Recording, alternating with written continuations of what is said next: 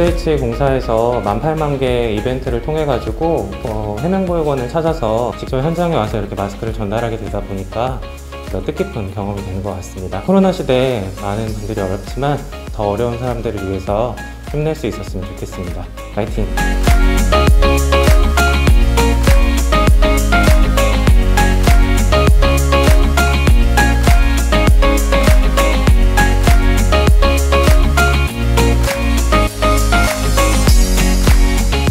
가정의 달을 맞이해서 서울주택도시공사의 인스타그램을 팔로우하면 마스크를 기부해주는 이벤트를 저도 참여를 했는데요.